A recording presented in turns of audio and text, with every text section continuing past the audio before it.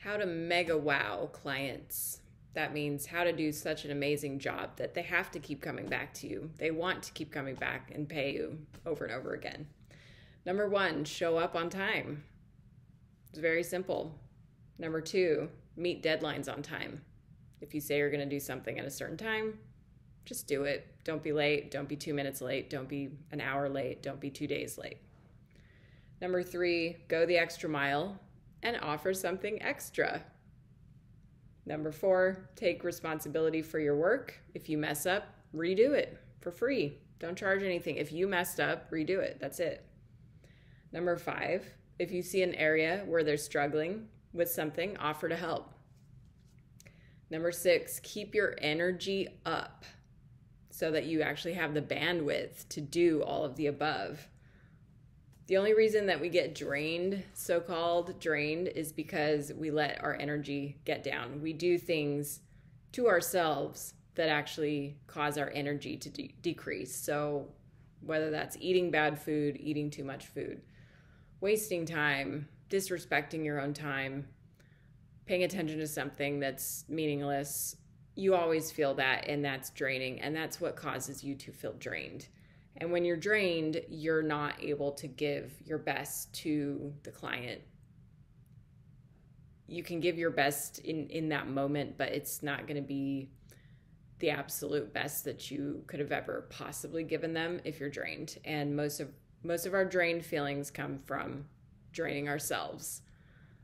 So, why show up on time? It's just nobody does it. Like seriously, nobody nobody shows up on time. I know very few people that actually show up on time. I am meticulous about showing up on time. Um, when someone shows up on time, I notice that. I appreciate that.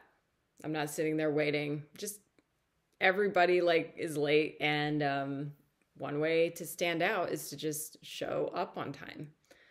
Same thing with meeting deadlines. If you're working on a project or something with the client and you say, okay, I'll get it done by this date, just meet that deadline. It's so simple. Like if it, especially if it's a self-imposed deadline, um, go the extra mile and offer something extra. For example, like when I edit articles for a client, I will usually offer unlimited revisions. And they usually don't even request them because the writing comes out pretty solid the first round. But if if they don't like it if it's unclear or whatever um, i do throw in revisions. It's just extra. Like we we got to get it right so we'll ping pong it back and forth until it's right. Take responsibility for your work. If you mess up do something for free. I love that because you know that that differentiates you from somebody who's just worried about how much time they spent on serving someone. Like if you if you mess up you really should spend the time to to fix the error or clean up the mess or whatever it was and don't don't put that burden on the client. And they'll appreciate that.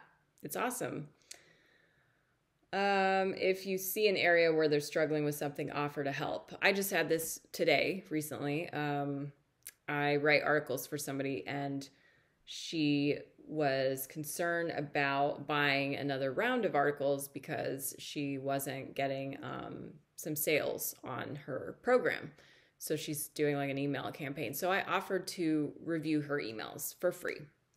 I just said, um, hey, if you're having a problem with that, feel free to send me the emails. I can take a look and see, you know, if if maybe there's some tweaks or something that I can help make with that. No charge.